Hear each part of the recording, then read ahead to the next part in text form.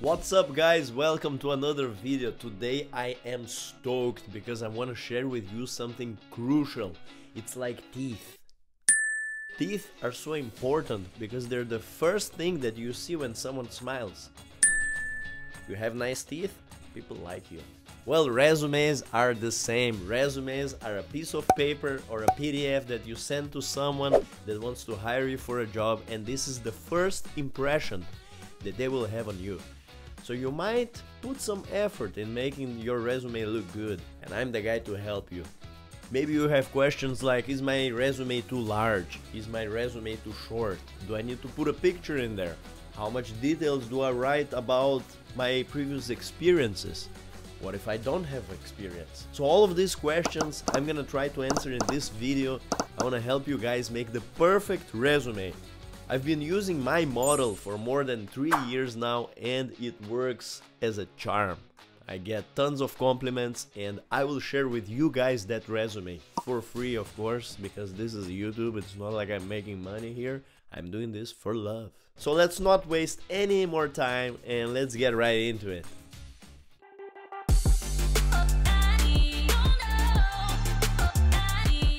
Alright guys, let's take a look at that resume right now.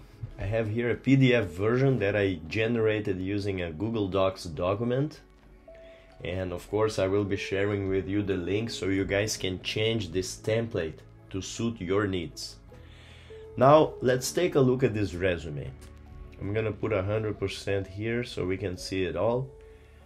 So basically that's it. It's a one-page document and as you can see there is a title here, there's a photo, some contact details, a little bit of a text, some skills.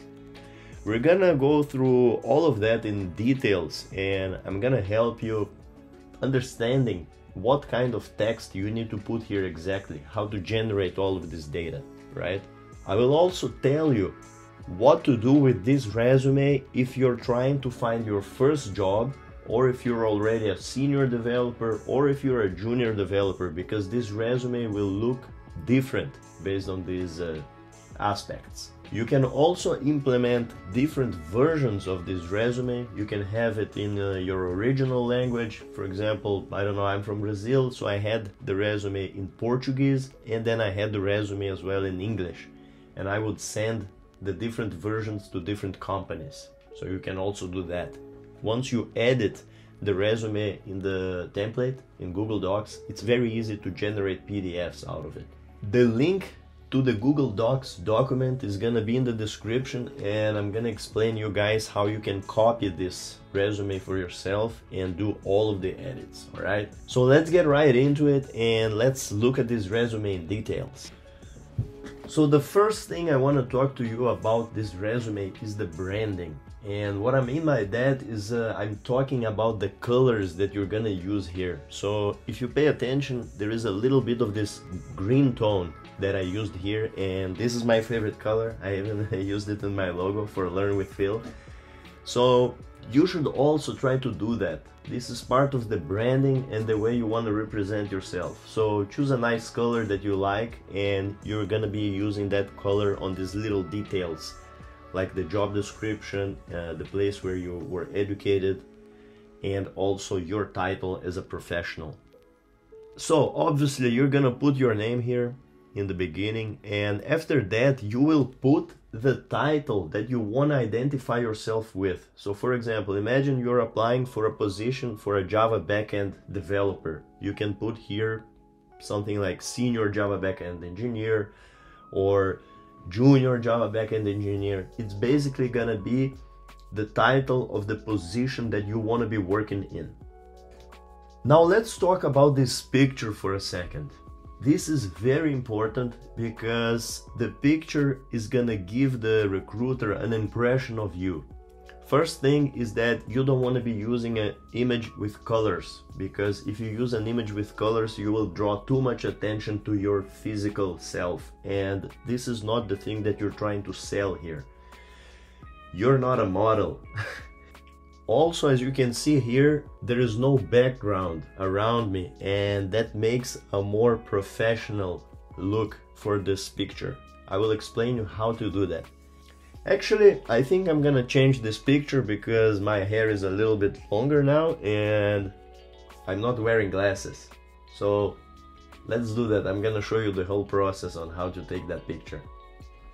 Okay guys, so now I'm gonna take a picture here. Um, I'm gonna basically take my phone, I'm gonna put it on a tripod and I'm gonna take a picture in front of a wall, usually, preferably it's a white wall or anything like that. It doesn't really matter because we're gonna use a free software after that to edit this picture. Let's do it.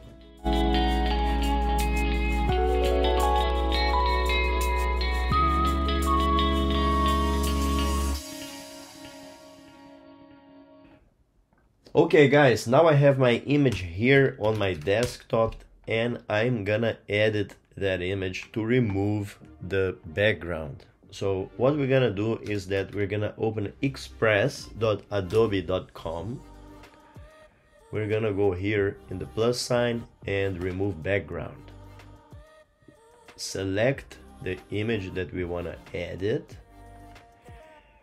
Let Adobe work for a while and voila the background is gone. Now we need to customize the image to create this beautiful white background image that we wanted initially. So in order to achieve that first we need to replace the background to the white color just like that. Next what we want to do is that we want to add a, the circled shape here. So what we're gonna do is that we're gonna crop and shape and select this round form here. And perfect.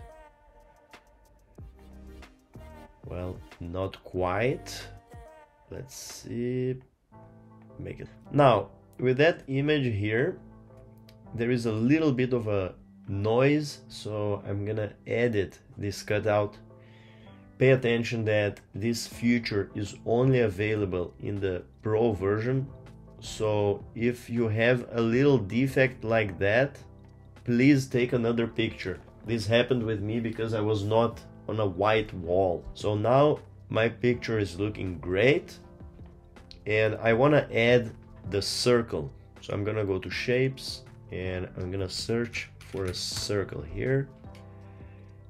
Let's see, this one it has a border and a fill so I don't want any fill here. Uh, let's see if I can get rid of the fill um, well maybe like that. I'm gonna put that as a second layer behind my picture.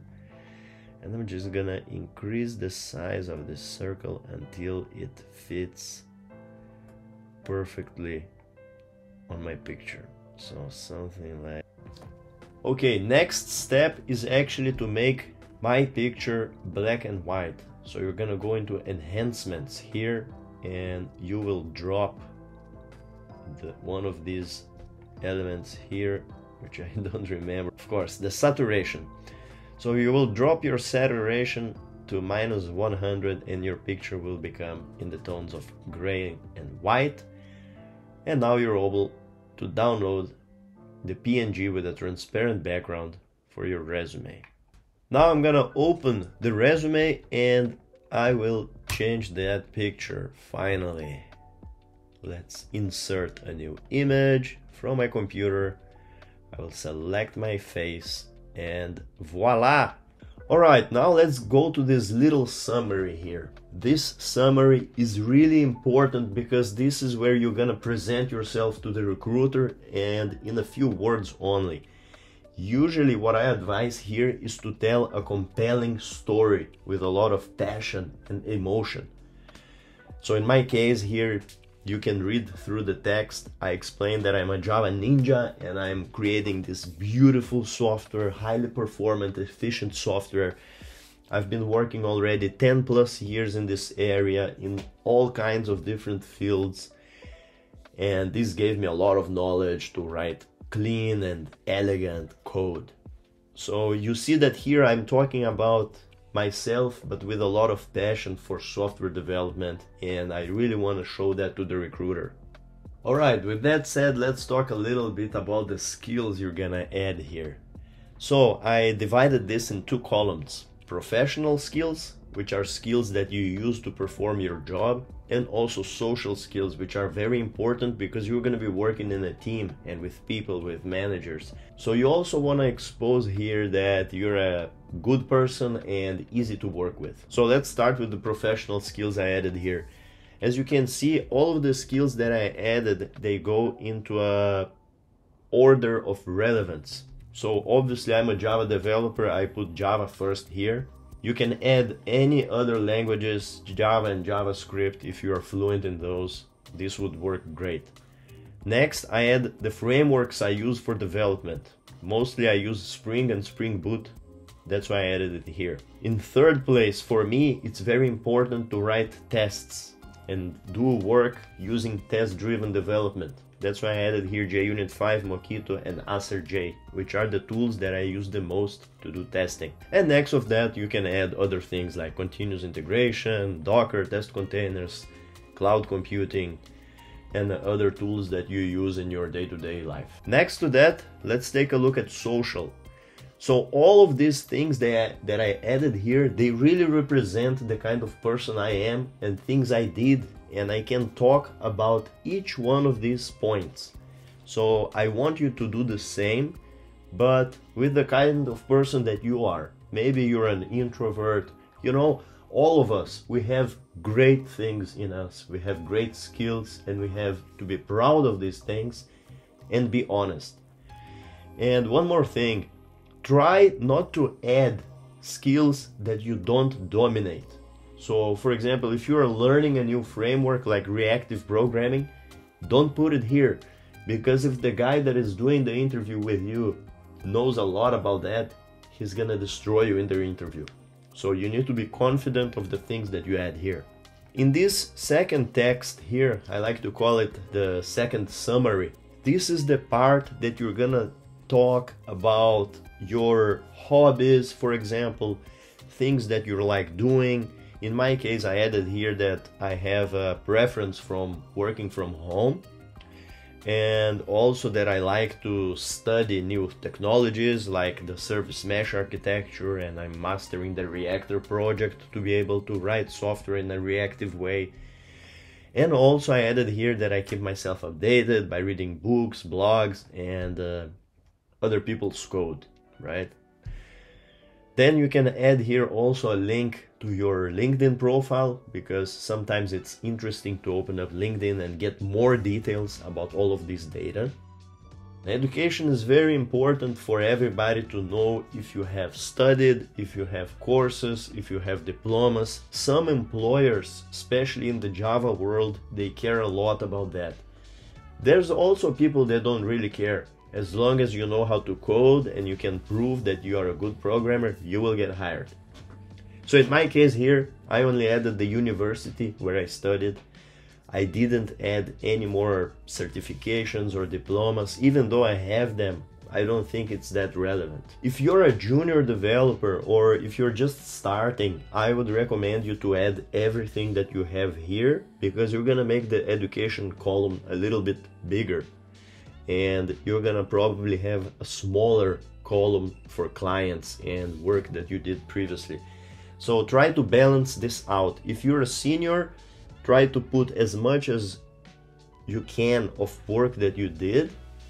But if you're a junior, maybe add more things in the education column and less in the clients column because you haven't worked that much for other clients. Now let's talk a little bit about the clients here. As you can see, all of these clients, they have a little image here. They have a period of time that you worked with them. They have the location.